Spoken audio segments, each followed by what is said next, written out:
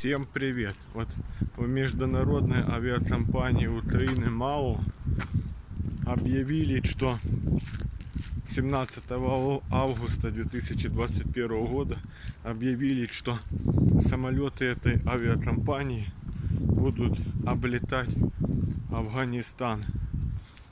Вот как вы считаете, безопасно будет авиабортам в последующем пролетать над этими, над этой территорией, которую будет контролировать Талибан.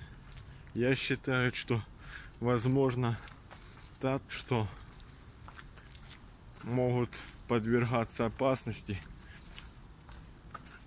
авиаборты различных авиакомпаний, которые будут пролетать над территорией Афганистана уже такие инциденты были на, территории, где проходили боевые действия на Донбассе.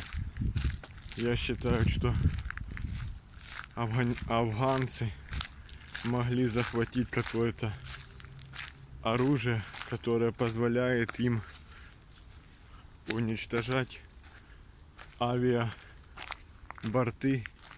так сказать, гражданского назначения.